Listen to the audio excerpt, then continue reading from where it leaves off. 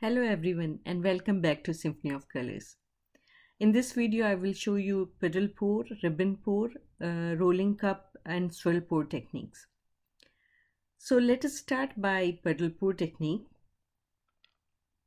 It is a very simple pour and uh, in this pour we create puddles of colors on the canvas.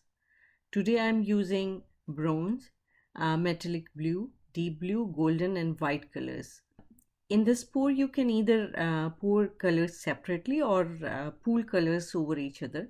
So i'm uh, pooling the colors. I'm making because the style is 6 inch by 6 inch in size. So i cannot make many puddles over here. So i'm making two puddles. And uh, the sequence of colors is same in both the uh, puddles. In the puddle pour you can choose not to add silicone and you will see nice wavy um, designs there. But uh, to, since there is silicone in the paints today you will see some cell activity I am now tilting the tile to spread the paints around. And since there is silicone in the paint I'll use heat gun so that the silicone comes out of the paint. And once the uh, tile dries then I'll remove the silicone by cleaning the tile properly before varnishing it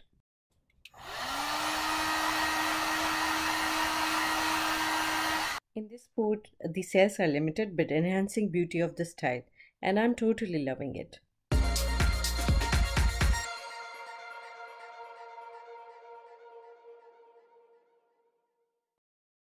The next pour is ribbon pour and for that I will cover the uh, tile with colors and then pour over it.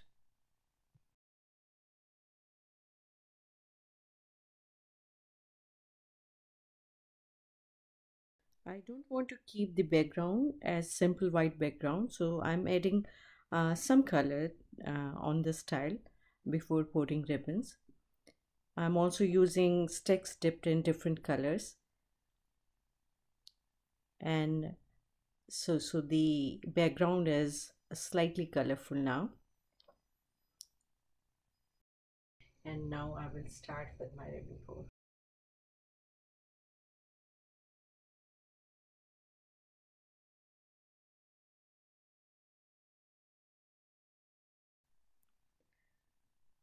I'm doing a dirty ribbon pour, but uh, it is also done by pouring single colors.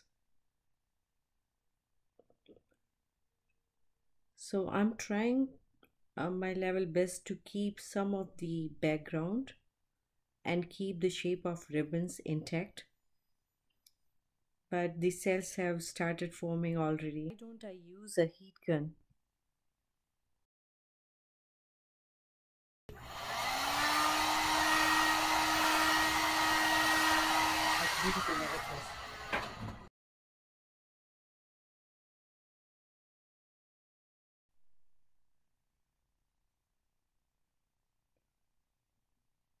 So it's looking really pretty and there are wonderful cells. So this is my dirty ribbon pour.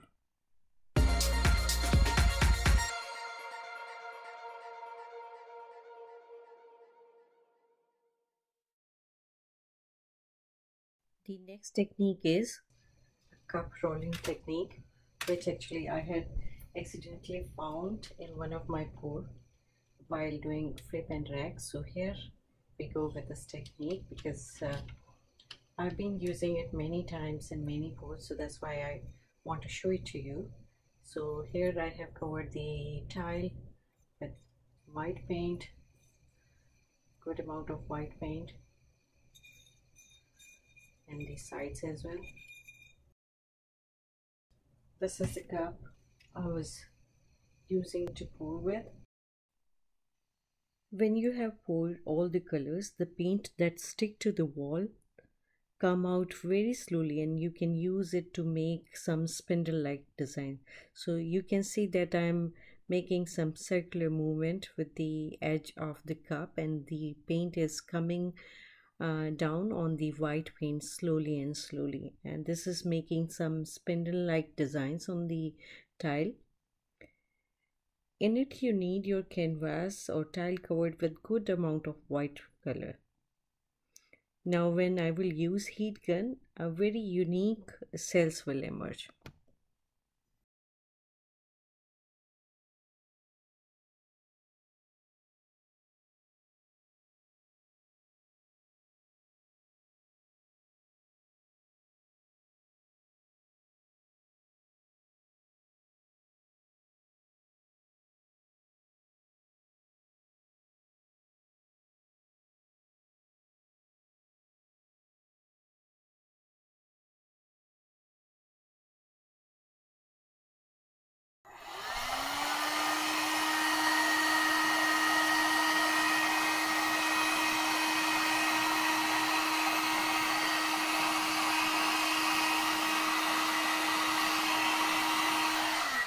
See these beautiful cells that have emerged at the end of uh, the spindles and I love these.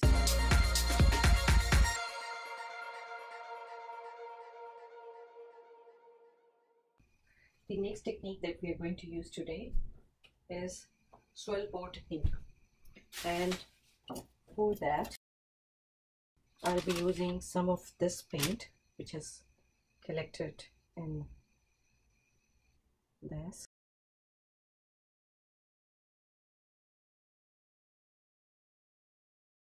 put the tile here. And cover the tile with white paint. You can choose any any color. So because I have dirty muddy paints that I'm going to pour over here so that's why I'm using white.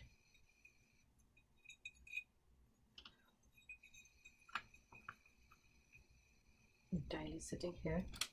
To this color I'm adding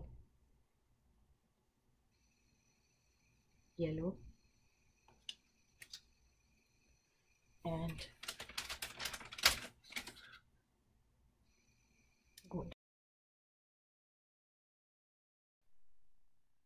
In this swirl pour, you make very small circular motion and uh, keep on uh, pouring the paint at same.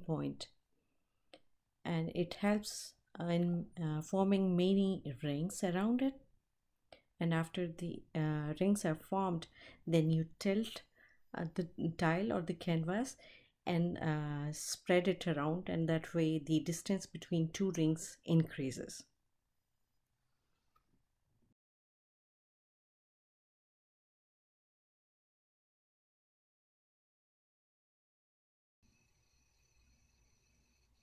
Because there was silicone in the paint so some cell activity will happen over here but I won't use heat gun on this.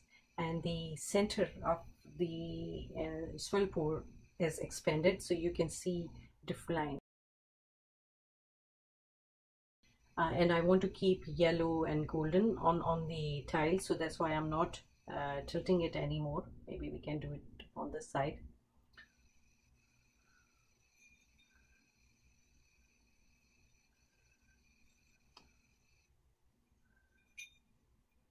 There you go.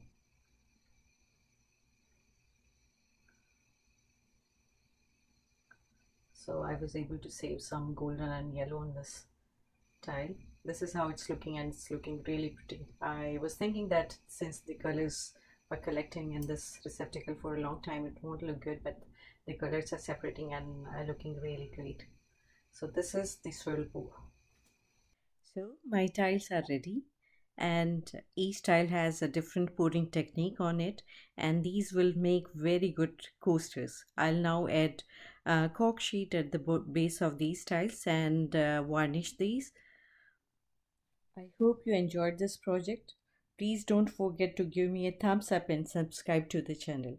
Thank you very much for watching.